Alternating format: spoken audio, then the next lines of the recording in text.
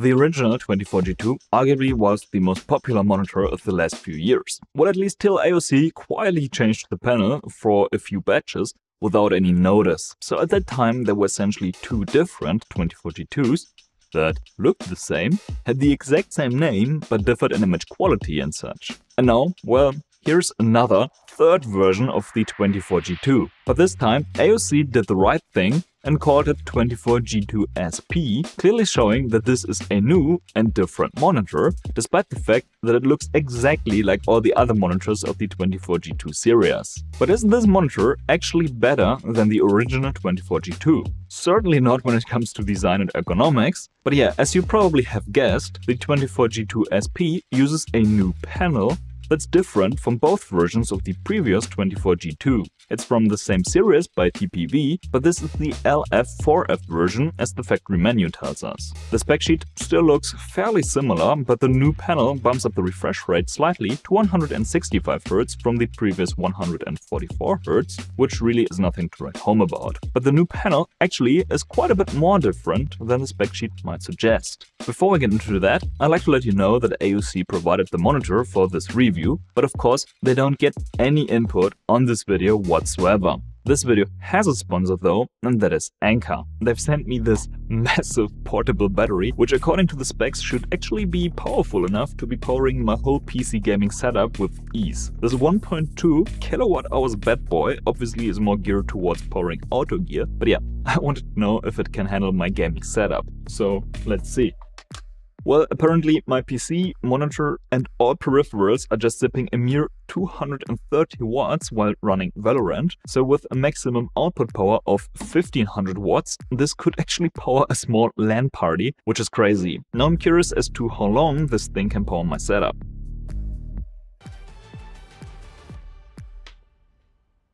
So I've been gaming for like half an hour now and it says that I still have about 90% or 4 hours left. Now there also are optional solar panels that you can use to charge the powerhouse with up to 300 watts while using it, so I guess if I really wanted to take my PC on a camping trip, I actually could play Valorant for quite a long time. Wallpower can charge the batteries from 0 to 80% in just an hour, and Anker also offer two smaller capacity models which come with the same durable LFP battery technology and the same 5-year warranty. Learn more at the link in the description down below. Now back to the video. I'm really not gonna recap my rant about AOC putting techie red accents on this monitor as the design is unchanged from the previous models. But I am gonna say that the design looks a bit dated now. However, the ergonomics of the height adjustable stand still are really good. If you'd like to know more about the ergonomics part, I'd suggest watching one of my other videos about the 24G2 series monitors that I will link down below. Now you might have noticed that the particular monitor that I have here has a completely black stand without the silver base and an additional USB hub at the back of the monitor. That's because this is the SPU version, which apart from these two features and a pair of integrated speakers, is the same monitor as the non-U 24G2SP. I'm probably gonna be calling it SP and SPU interchangeably throughout this review. Now I think most of you wanna know how the new version compares to the older models and whether or not it makes sense to upgrade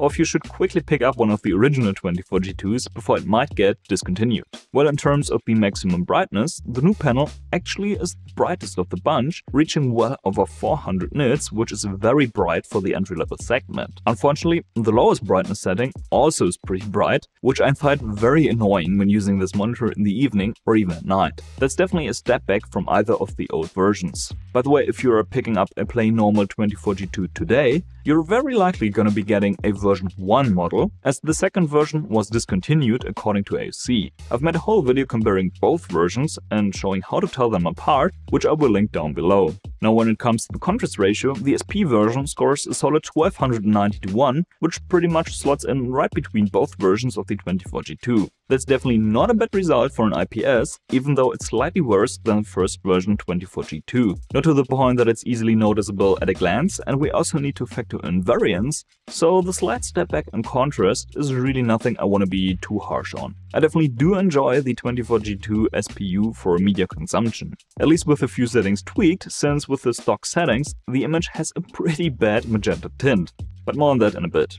Other than that, the colors look nice and saturated, and that's because the 24G2 SPU is our typical somewhat wide gamut monitor, just like the non-SP versions. Meaning we get some oversaturation when viewing regular content, but not to the point that it would bother most people. To put that into actual numbers, we get about 1.3 times the color gamut volume of sRGB and a decent DCI-P3 coverage. Naturally, that means we're getting a relatively high delta E when measuring against sRGB. The biggest problem with the default setup is the white point though. We get a pretty hefty magenta shift that really needs to be corrected. The sRGB mode unfortunately isn't much better and what's super annoying is that you can't even adjust the color temperature in the sRGB mode because this and a bunch of other settings are locked in this mode. To make matters worse, the brightness adjustment is one of those locked settings, leaving us with a super bright setting of almost 400 nits, which is just nuts. So I see you really don't need to bother including an sRGB mode when this is what it looks like. Anyway, with tweaked settings, the 24G2 SPU actually can look really good, so I definitely recommend changing some settings. And calibrated and profiled, this improves even further as you would expect. Now these are the image quality related settings I recommend using. I also recommend applying the ICC profile that you can download from the video description. This profile should be used together with the recommended settings. In case you don't know how to use an ICC profile, I've got a guide linked in the top right corner. Now let's shift gears a little and talk about all the gaming related stuff. You may remember that I criticized the original 24G2 for adaptive sync flickering and also for showing visible inversion artifacts. I'm glad to say that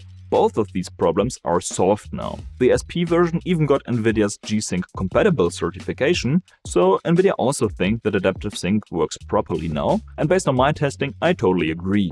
There's no flickering or any other artifacts, and LFC kicks in at 55 FPS. Now what about the response times, ghosting, motion blur and all the good stuff? As usual, we're going to be using Blur Busters' pursuit camera technique and also look at some response time heat maps in a bit. AOC provide us with four overdrive settings, but they honestly all look fairly similar, just like with the other 24G2s. At 165Hz, we get minimal overshoot in the strongest setting, which is totally acceptable. Hence strong is the best setting at the maximum refresh rate. And the response time measurements back that up, showing minimal overshoot at 165Hz. Okay, the response times surely aren't the best, but an average of 6.5 milliseconds isn't too bad either. By the way, if you're into these response time maps, you can find some more over at my Patreon. Now for some context, here's what the response times of the EX2510S look like in comparison, which is one of the fastest IPS monitors of this class. And it's obvious that the 24G2 SPU isn't quite as fast as that. And when it comes to lower refresh rates, the overdrive of the 24G2 SPU is a bit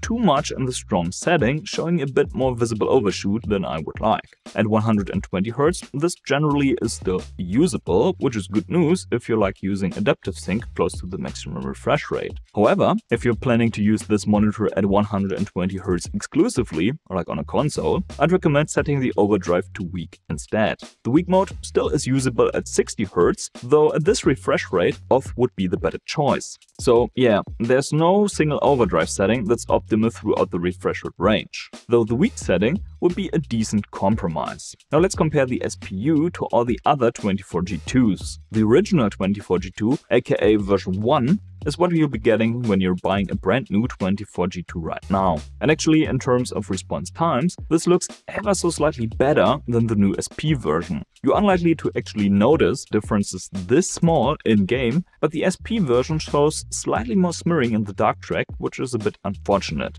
What's even more unfortunate is that the 24G2 V2 shows the least amount of smearing out of these three. Though according to AOC, the second version has been discontinued, so you'd be unlikely to find this brand new, which really is a bummer given that this is the fastest 24G2. Well, at least when we ignore the 24G2 ZU, which is the 240Hz version. But even at 144Hz, this is as fast as the second version 24G2. So either way, the 24G2 ZU is the fastest version of this monitor that you can buy right now, while the SP version unfortunately is the slowest. Not by a significant margin, but that's a slight step back nevertheless. Now the 24G2 SPU also comes with backlight strobing, or as AOC like to call it, MBR. I really like that this is adjustable with the slider from 1 to 20, giving a much finer control than many other monitors do. Dialing this in generally is a compromise between clarity and brightness, and I find settings around the MBR10 range to make the most sense. However, in comparison to some of the best strobing implementations out there, it's pretty clear that it's not exactly a good backlight strobing mode. I personally wouldn't recommend using it, just like with both versions of the 24G2.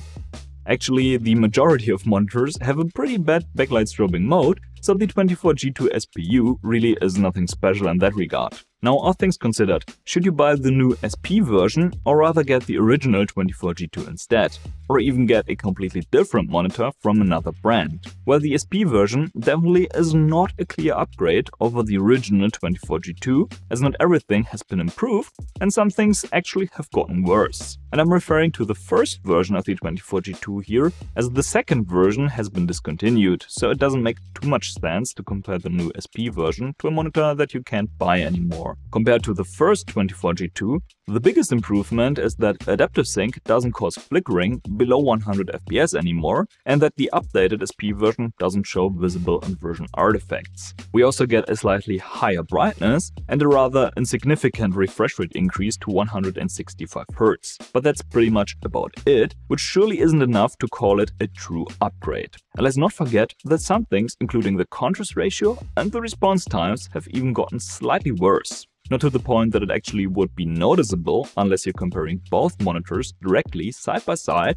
and are really looking closely. So for the same price, I'd actually slightly favor the new SP version because of the flickering and artifacting issues of the original 24G2. That is, if I had to decide between either of these two monitors from AOC. Usually the Gigabyte G24F can be had for roughly the same price and it's faster, making it a better choice for gaming. And yeah, it overall feels like a more modern monitor and it has a single overdrive mode that's pretty much perfect throughout the refresh rate range. And let's not forget about the minimum brightness setting, which unlike the 24G2 SPU doesn't burn your eyeballs, which is something I personally really appreciate. I'll link the full review of the G24F on screen right now, and I really suggest watching that review if you're mainly looking for a monitor that's really good for gaming.